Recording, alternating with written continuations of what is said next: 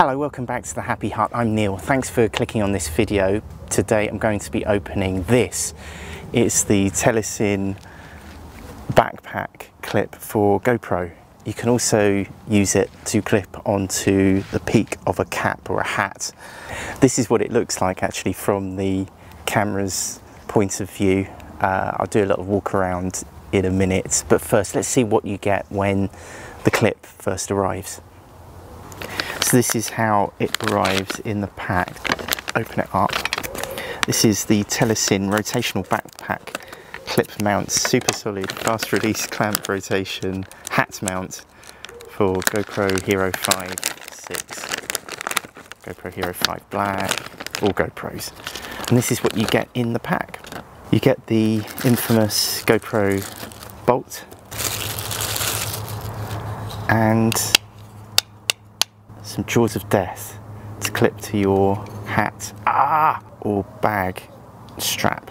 So this is how it works. I don't know if you can see those arrows. There are notches inside so you can turn it notch at a time. Wow, that's really stiff, but you can click it round to these different graduations from zero degrees round to 90 degrees or even 180 degrees. So you could clip it there. Ah! So yeah, it's got a 360 degree rotation. So here's my GoPro Hero 5 Black and I've got it in the regular GoPro frame. And then we just line up I think I want it this way round. Just line those up with the GoPro mount.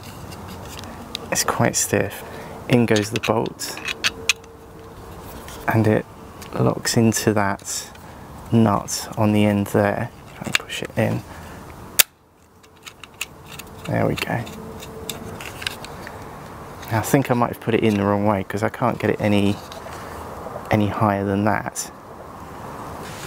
So I've turned the frame the other way around so that it can fold back on itself onto the clip.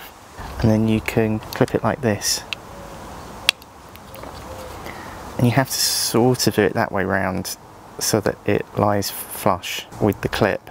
And then that can clip into here. Ah! or you could adjust it so that it clips to a hat. It's very stiff.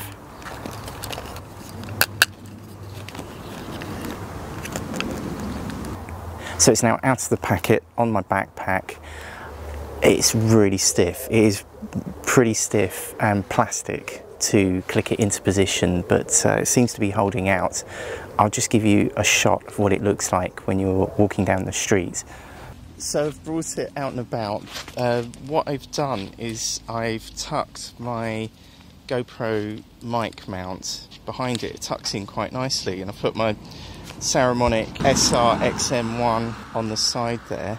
Clip this to the to the rucksack and this is how it looks. It, it clips on really easily. I've got the mic uh, pointing up at me. Yeah, so this is the POV shot from the from the rucksack.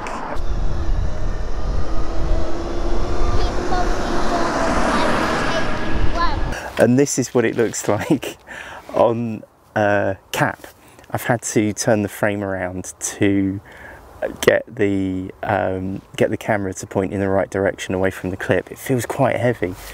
Um, look, it's gonna be great for whitewater rafting or uh, fishing or something. I don't think I'm going to be able to walk down the street like this. But anyway, I hope this video has helped. If it has, it'd be lovely to know that someone got to this part of the video. So why not click a thumbs up just to give me a wink that you got this far.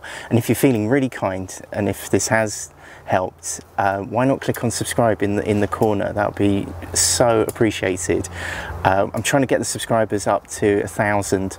I don't think I'm ever going to make it, but if you can get me just that one step closer, it just keeps me going. I really appreciate it. I've put a link to the Telesin backpack clip in the description below and I've also put some links to other uh, GoPro unboxings that you might find useful. I'm being crushed by the weight of the camera. Um, anyway, I hope this has helped. Good luck in your purchase and uh, leave me a comment to say hi. It'd be great to hear from you. Bye.